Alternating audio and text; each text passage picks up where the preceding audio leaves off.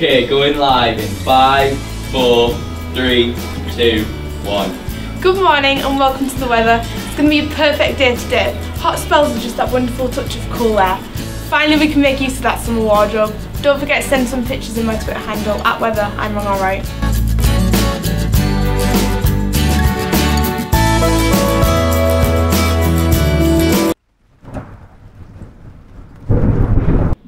Be the worst. Whenever they say it's going to be sunny, we get a hurricane. And whenever they say that there's going to be a hurricane, this place is like a sauna.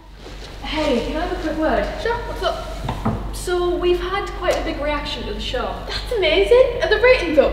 It's like the start of the 24 hour weather channel. Could be like the running Kelly of the weather channel. Yeah, not exactly. Um, you're being sued. Sued? Well, you've got the you've got the weather wrong every day this week. There's people dressed for Benidorm when it's more like Cyclone Benny. We've got people with colds who can't go to work and blame you. And one person's death chair blew away and they're definitely not in Kansas anymore. Can you do that? Can you sue the weather woman?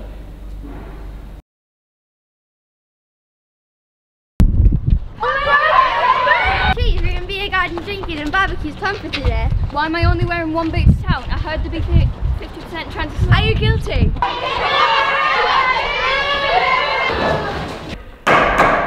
Order, order! As you can see from the action to my defence of Caitlin, they are simply given information regarding the weather and do not predict the weather. Therefore, they cannot be held accountable for the weather differing to what they say. Objection, Your Honour. Being unable to make a prediction of the exact state of the system, for example, the weather. The weather does not preclude the ability to predict the statistics of the system, for example, the climate. I turned up at the beach in my new Kylie swimwear and it was minus one. I was raising. This presenter should not be allowed to lead innocent people like me to almost freeze to death.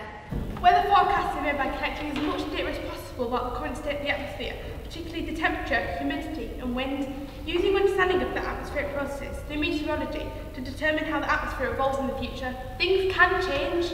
So, you are saying that you yourself cannot predict the weather? I can make a prediction based on information. Enough! Let us hear from the jury.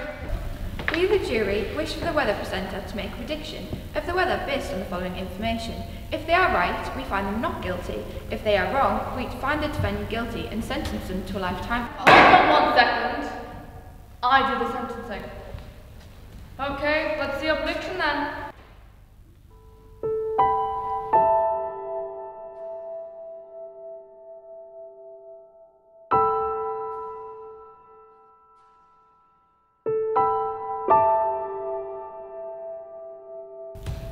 I've got it. Snowing.